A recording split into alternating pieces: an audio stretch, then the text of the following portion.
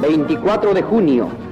...San Juan de Amancá es día clásico en las fiestas del criollismo costeño... ...mezclado armónicamente con el alma serrana.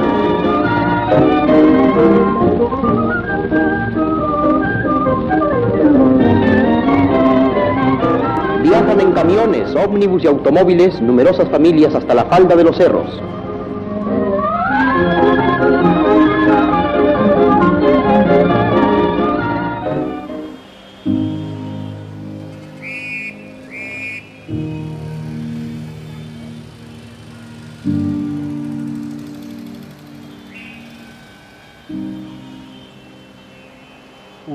Los más grandes problemas de las lomas son las invasiones.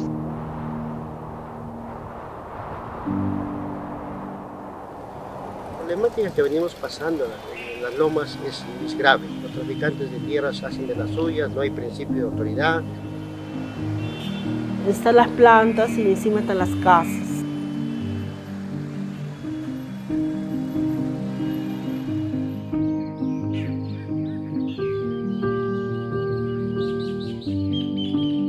Pienso que también es porque, así como yo lo, en un principio que yo estaba así ciega y no quería subir, desconocen el tema de las lomas. Siempre me llamó la atención del por qué se ponía verde el cerro. En verano aquí se ponía totalmente seco. Entonces parecía que ya habían muerto las plantas y ya no iban a volver a crecer, pero año tras año en las lluvias volvía a crecer.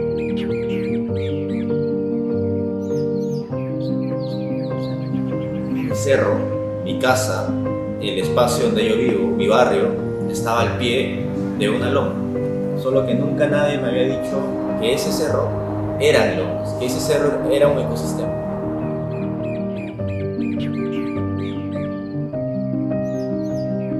Algunos me preguntan, ¿qué es la lomas? Yo les digo, no es como un cerro cualquiera. Eh, cuando llueve se pone verde y cuando hace calor se seca.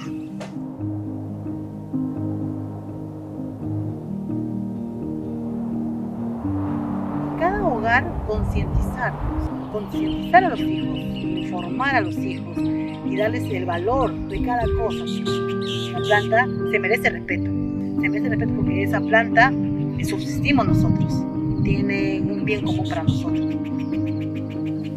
A veces nosotros estamos pensando en la matemática, en la comunicación, en hacer esto, lo otro, pero no sabemos que nuestro medio ambiente está en peligro y que tenemos que de una u otra manera tomar cartas de acción. La guía ambiental sirvió para poder ver la realidad, la realidad de la institución y adecuar la guía a esta realidad. Formando equipos ambientales, líderes ambientales, para que ellos puedan valorar la zona que tenemos aquí, que son los pulmones de toda esta comunidad.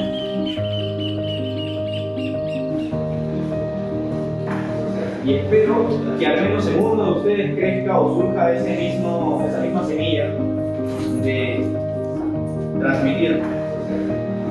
Porque ahora puedo decir que no me siento solo. Ahora puedo decir que tengo a un gran grupo de chicos, de chicas, que también saben de lomas, que también conocen sus lomas.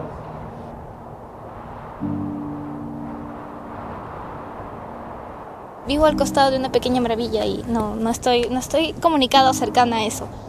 Darte cuenta que allá tienes una ciudad que tiene muy pocas áreas verdes y todo un lugar acá que cuenta como un pulmón y poco a poco lo están degradando es como una, una conciencia que te genera.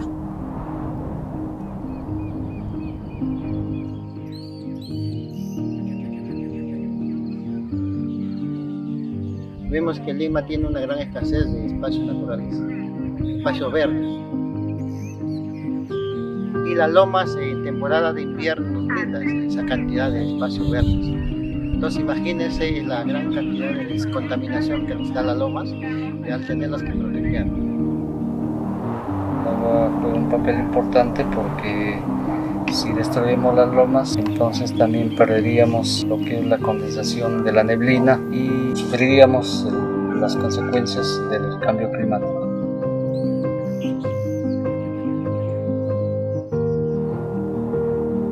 Los datos de una estación hidroclimática ligera como la que hemos implementado eh, sirven para poder principalmente conocer cuánta agua de niebla puede ser capturada por un metro cuadrado de malla eh, en un espacio de tiempo. Podemos barrer una gran cantidad de puntos y poder encontrar cuál es el mejor lugar para proponer un sistema de captura de niebla que permita el aprovechamiento de agua para fines de restauración ecológica.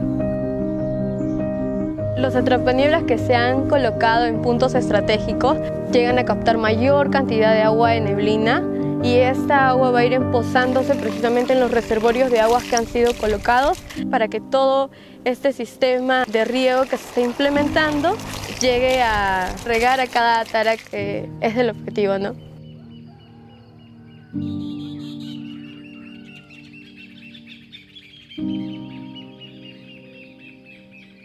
El tener esta conexión con, con Eva Lomas nos ha permitido, primero que nada, el formalizar nuestra asociación. Pasamos de ser un grupo de jóvenes organizados, voluntarios, eh, a una asociación formalmente constituida.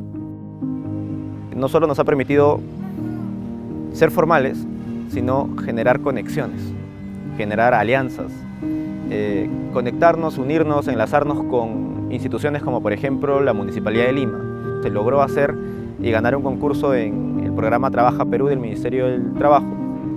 Y, algo que fue muy potente fue que se logró conseguir un financiamiento para acondicionar todo el, circuito de las lomas de Mirador haciendo escaleras, barandas y diversas cosas.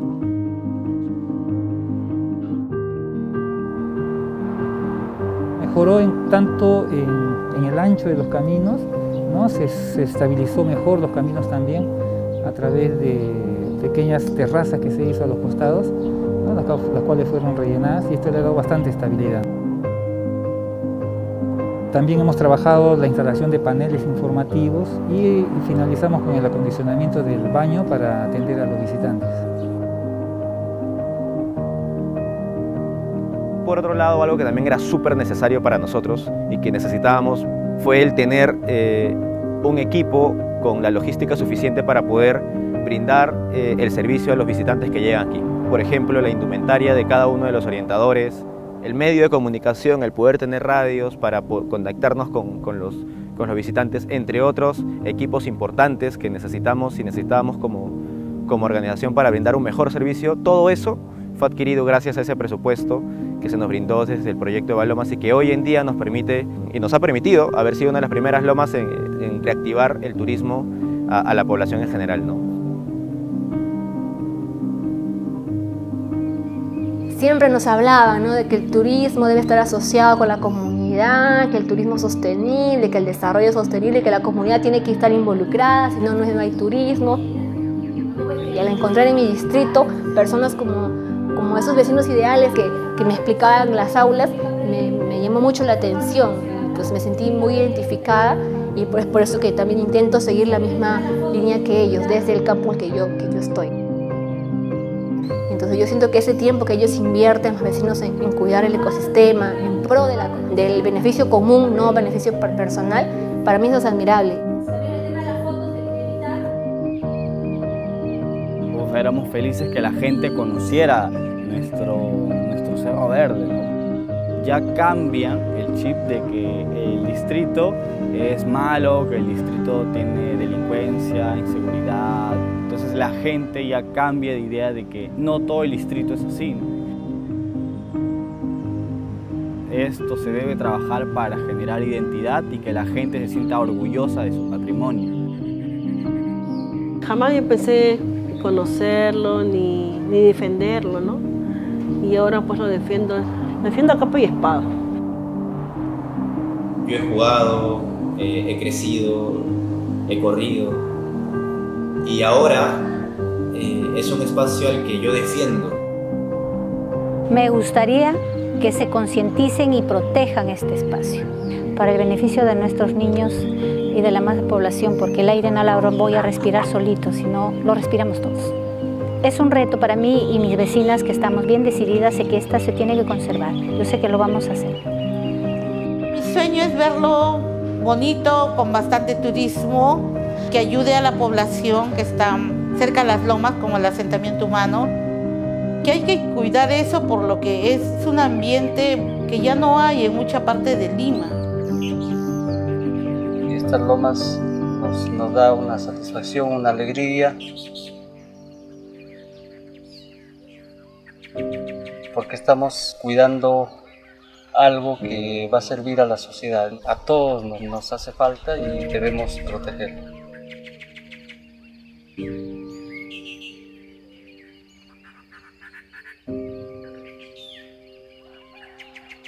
you.